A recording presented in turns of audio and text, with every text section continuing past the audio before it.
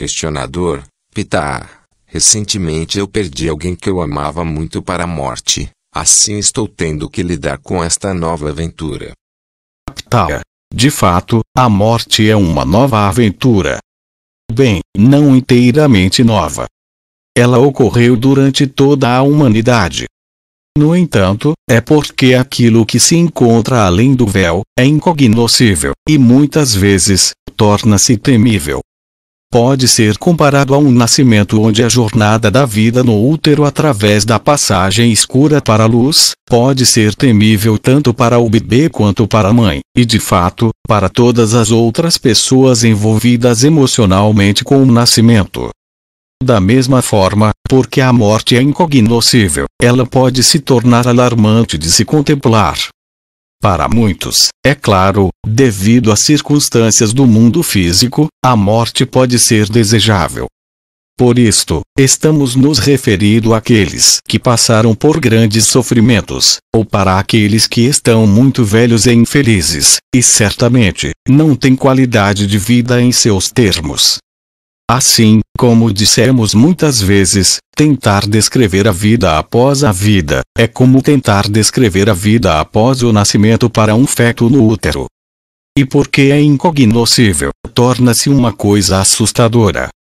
E adicionado a isto estão as ideias, as estruturas de crenças em relação à vida após a morte, estas incluem as ideias do céu e do inferno, as ideias de um limbo, a ideia da separação, da perda, todos estes criam uma ideia que afeta a consciência de massa. Mesmo onde intelectualmente você pode reconhecer uma verdade maior do que estas ideias baseadas no medo, emocionalmente o medo, muitas vezes, surge por causa destas crenças profundas na consciência de massa, ou mesmo o que você aprendeu quando criança sobre o céu e o inferno, em termos de punição por faltas, etc. Questionador: o quanto é válida a ideia do que chamaríamos de fantasmas? Tal. De certa forma, você pode dizer que a ideia de fantasma é válida, onde uma lembrança, ou impressão energética foi deixada. Os fantasmas podem ser comparados a um eco, uma impressão, se você desejar, daquilo que foi um evento passado, ou onde houve um trauma, ou uma grande explosão emocional. Assim, é certamente válida esta ideia chamada de fantasma, embora muitas de suas ideias sobre o que são os fantasmas não sejam muito realistas, nós diríamos. Além disto, é claro, apenas porque alguém esteja morto, não significa que ele não possa se comunicar com aqueles que ainda estão neste reino, de muitas variadas maneiras. Se há o desejo de ambos os lados para manter uma comunicação, por uma razão ou outra, de certa forma, aquele que passou além deste reino pode ser chamado onde houver este desejo.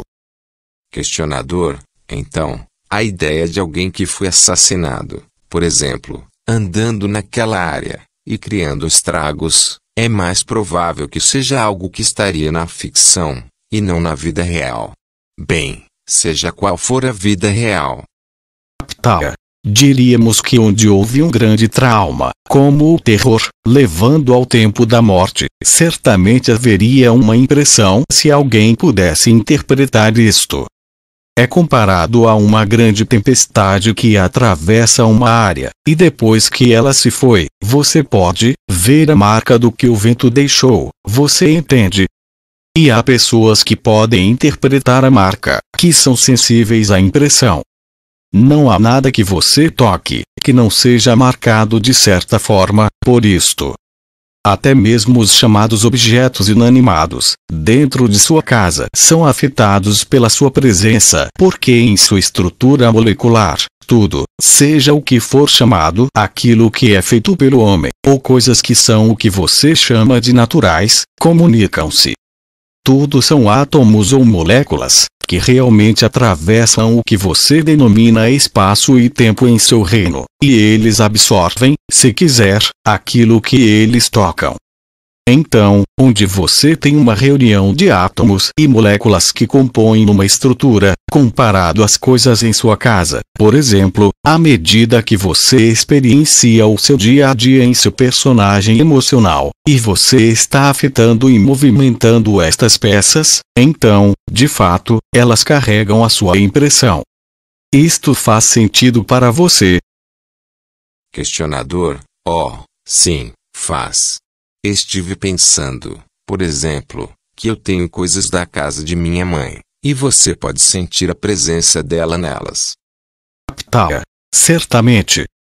E assim é que algumas vezes, quando você entra em uma casa, você tem não apenas uma impressão visual de como ela é, ou como as pessoas estão nesta casa, você pode sentir, talvez, que esta é uma casa feliz. É um lar, e em outros locais algo de vazio, como se não houvesse nada lá, e às vezes, você tem uma sensação fria de que este não é um lugar feliz.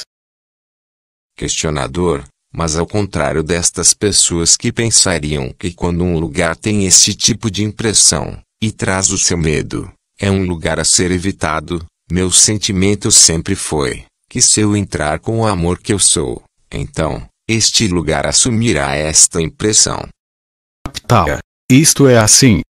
E é também que onde você entra em um lugar que ressoa com o medo, isto traz uma impressão de terror, daquilo que talvez seja um medo induzido. Se você entrar neste tipo de lugar centrado em seu próprio conhecimento sobre a verdade maior, então, você pode aliviar este medo, este terror. Continuaremos esta discussão no próximo mês.